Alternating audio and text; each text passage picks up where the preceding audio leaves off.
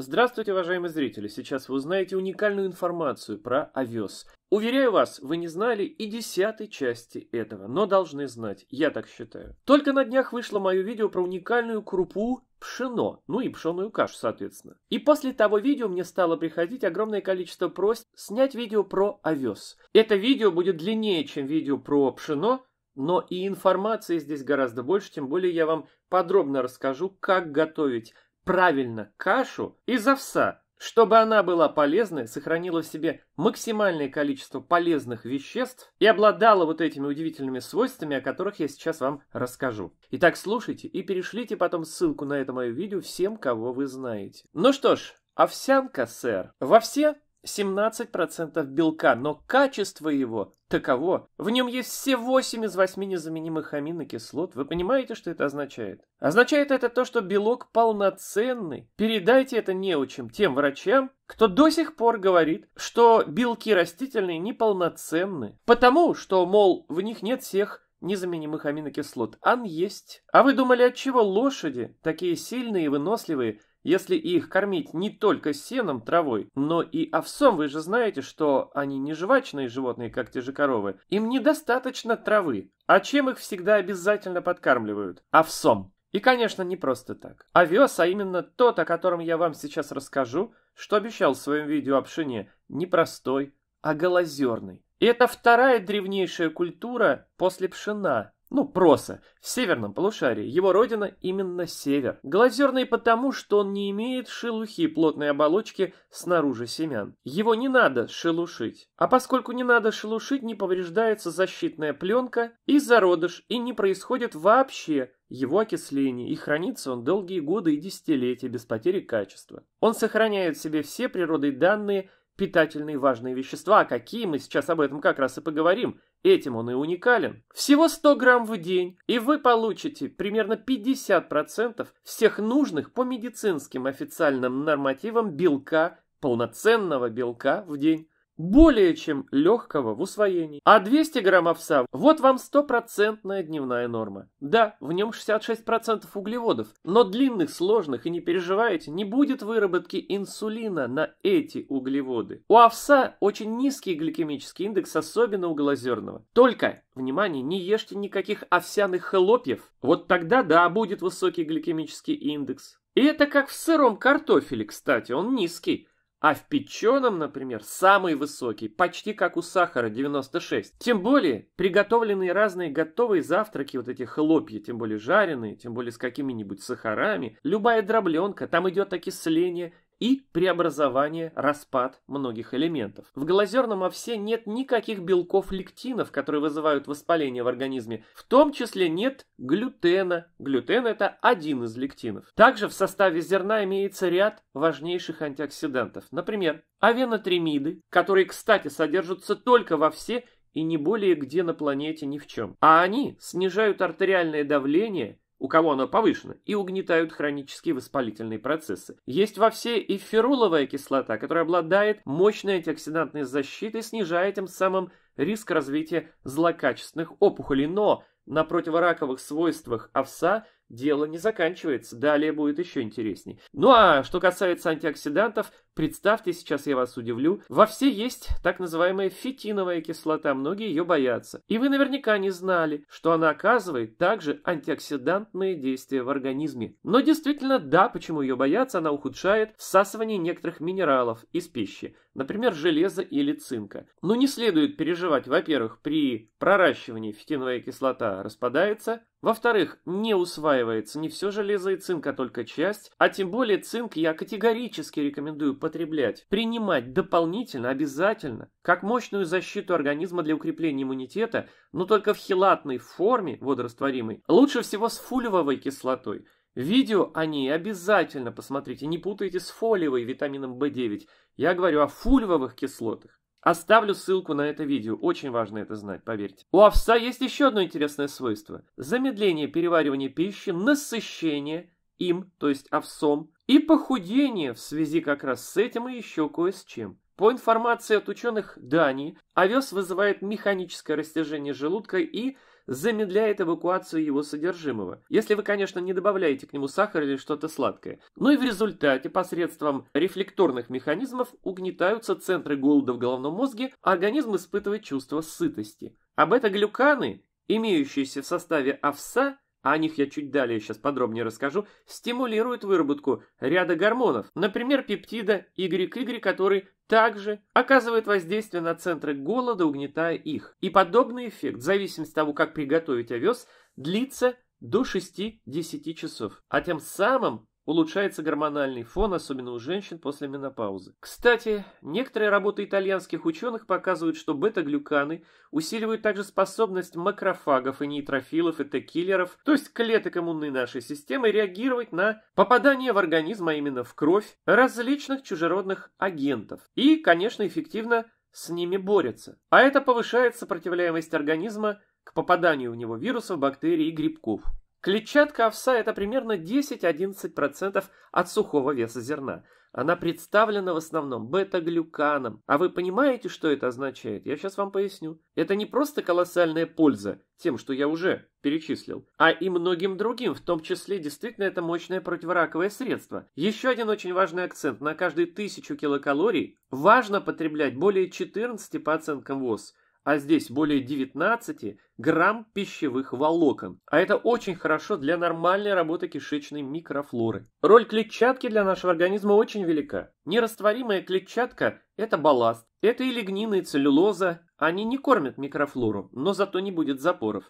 А бета-глюканы превращаются в организме в гель, и они улучшают моторику кишечника, но главное это пища для нашей родной симбиотической кишечной микрофлоры, и тогда у вас в организме будет достаточное количество короткоцепочечных жирных кислот, что очень важно, в том числе для нормального построения клеток нашего организма, и недостатка их не будет, так как сам организм их начинает синтезировать. При потреблении глазерного овса уменьшается плохой холестерин. Достаточно всего 3 граммов бета-глюкана в день для профилактики сердечно-сосудистых заболеваний. Бета-глюканы связывают жирные кислоты и холестерин, не давая повторно всасываться им в кровь. Тем самым защищают от атеросклероза наши сосуды. Бета-глюканы уменьшают количество глюкозы и инсулина в крови, а значит предотвращают развитие метаболического синдрома, снижают инсулинорезистентность и развитие сахарного диабета второго типа. Бета-глюканы также активизируют НК-клетки. У нас в продаже, так же, как я говорил и про пшено, есть и экологически чистый, с сертификатами био, то есть органический, голозерный овес с идеальным пищевым составом, поскольку на почвах, где он выращивается, ведется грамотный, уже десятилетиями, севооборот. И этот голозерный овес лучший в мире. Из него, кстати, мы производим бета-глюкан, натуральный концентрат, его даже немцы ранее закупали. Кстати, ссылку на голозерный овес я оставлю на наш новый сайт, который специализируется на продаже биозерна и биомуки, нашей собственной и ссылку на другой сайт, конкретно на вот этот концентрат бета-глюкан, который вы можете добавлять куда угодно в еду, в любую. Самое полезное – это цельное пророщенное зерно глазерного овса. Затем, по пользе как бы, идет вареное, но цельное. И, кстати, есть щадящий метод варки, о котором я скоро вам расскажу. То есть, как правильно варить, запаривать зерно. Хуже – это рубленная крупа. Еще хуже плющенная и тем более долго хранимое плющенное. Кстати, если кто-то захочет написать о изжоге, как люди писали под видео о пшене, вы посмотрите мое видео изжога, хорошо? Не пишите про изжогу. Ведь дисбактериоз у вас вздутие, газы, так не надо есть сладкое. Не смешивайте каши со сладким. Посмотрите мои видео «Дисбактериоз», «Сибор», «Синдром дырявого кишечника», вот эти видео. И уберите из рациона питание сладкое, не совмещайте. Кстати, в наш новый продукт «Живой сыроедный кисель» мы добавляем вместо вредного крахмала именно бета-глюканы, потому что у него еще уникальное свойство – это загущение продуктов. То есть бета-глюкан – прекрасный загуститель. Кстати, именно поэтому наше веганское сгущенное молоко такое густое. Вот именно благодаря большому количеству в этом продукте бета-глюкана. Но это, пожалуй, единственная сгущенка, полезная, а не вредная в этой связи. И вообще, говоря о разнообразии, не стоит питаться разнообразно, то есть потреблять разные каши. То есть более чем достаточно совмещать две каши. Например, ну, чередуя их, пшеную и овсяную. Ну, говоря о кашах и о разнообразии, пожалуйста, кто хочет, у нас есть из пророщенного и плющенного зерна, но в вакууме, то есть без окисления, готовые, то есть быстрого приготовления каши, который просто залил теплой водой,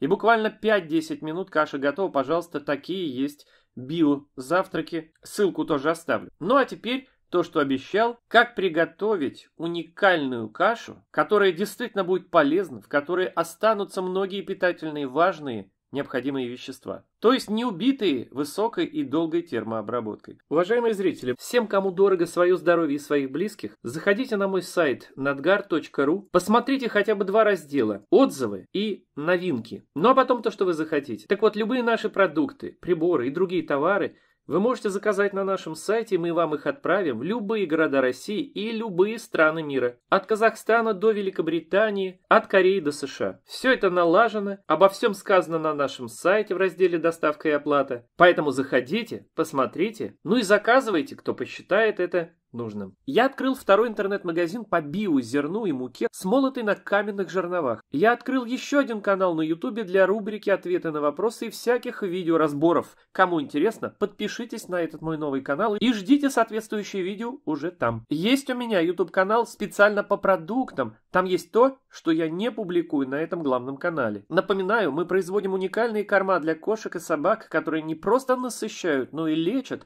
и продлевают жизнь питомцам. Смотрите об этом этом вот это важное видео. Даю подсказку на мое видео, как совмещать продукты питания, БАДы и лекарства между собой, чтобы никто меня об этом уже не спрашивал более. Мой совет, измеряйте среду обитания. Ну где вы живете и работаете? На радон, радиацию, электромагнитное излучение. И себя на отсутствие опухолей. Вот раздел про приборы-тестеры. И вот на все это я оставлю вам ссылки под этим видео, которое вы сейчас смотрите. И последнее, под каждым моим видео внизу есть важные ссылки ссылки, в том числе на мои соцсети. Очень рекомендую подписаться на телеграм-канал, который дублирует YouTube. Мало ли что с YouTube будет. И там есть также ссылка на индивидуальные консультации. Все.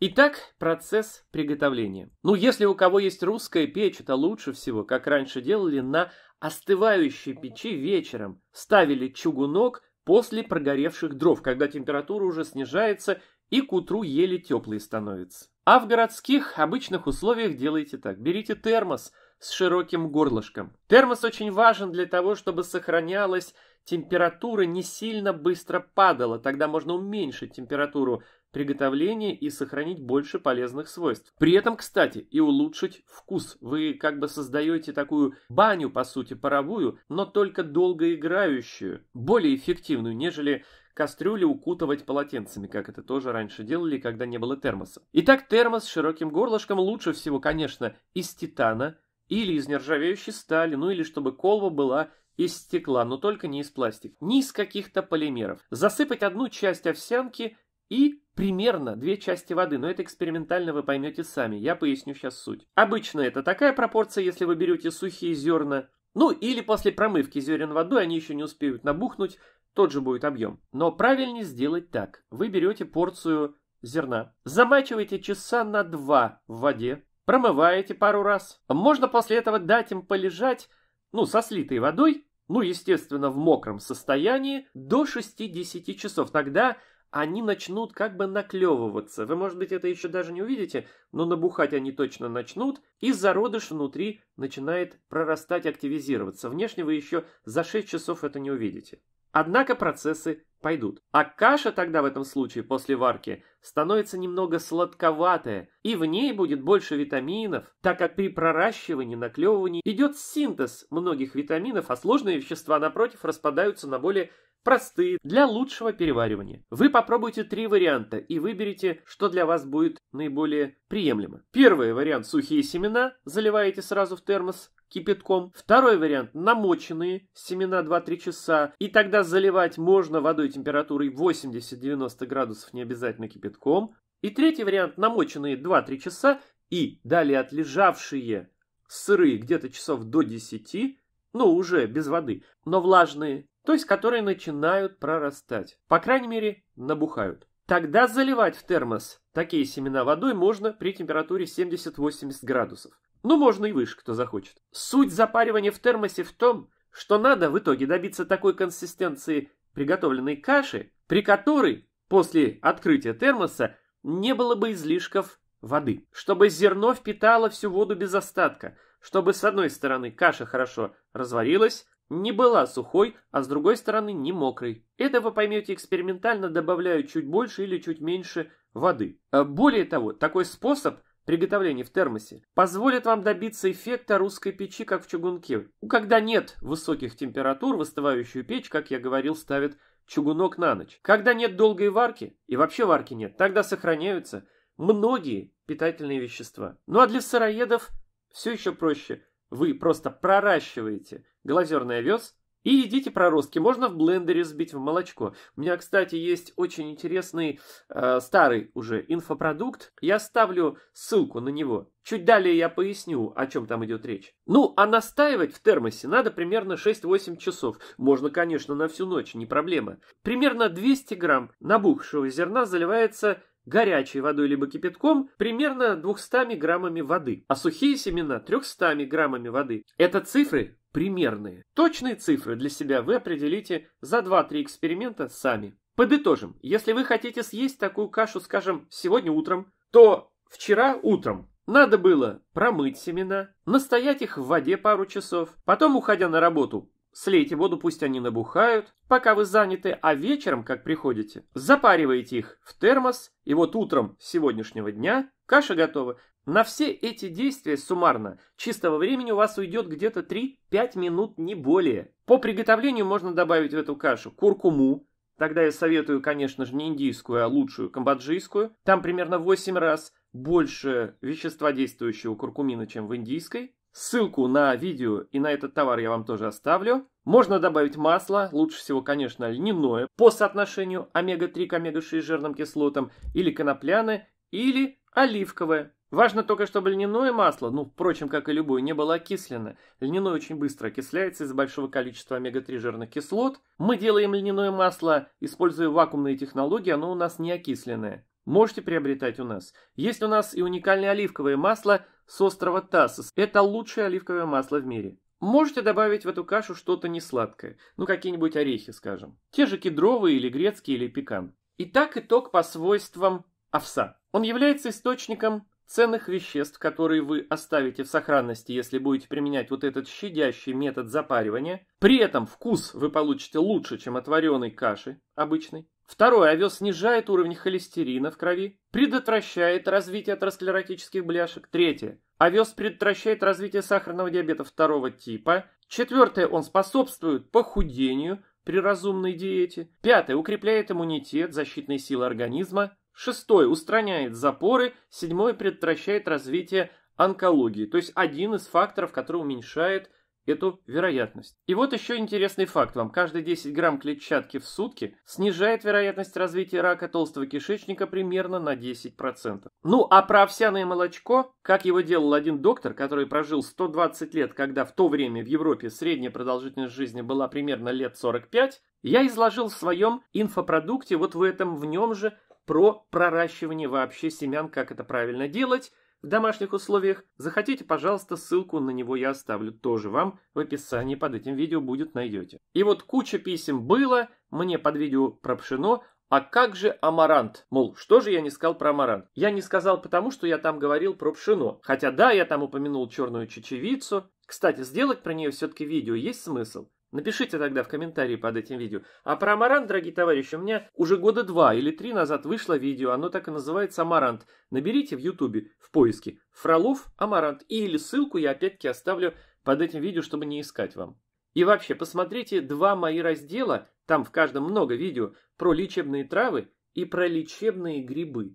Будет весьма важно и поучительно это узнать для каждого человека. Да, и под этим видео будет ссылка на информацию о продаже территории 160 гектар с озерами в Псковской области. Я продаю эту территорию так как два крупных хозяйства, ну просто невозможно физически и морально тянуть. Это уникальное место и уникальный проект. Я хотел бы продать его в хорошие руки. Ссылка будет в описании.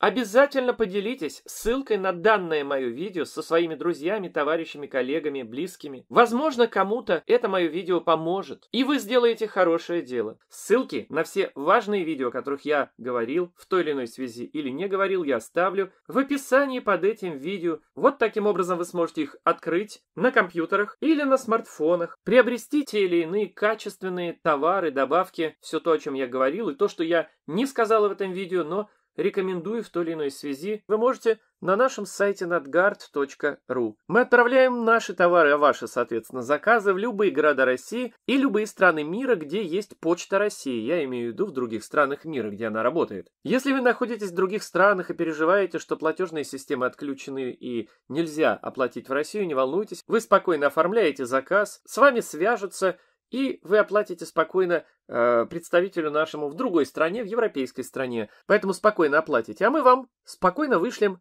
если работает Почта России у вас, наш товар, ваш заказ в вашу страну. Каждый день мы так отправляем, проблем нет никаких. Ну что ж, до новых встреч, до новых видео, всего хорошего, до свидания.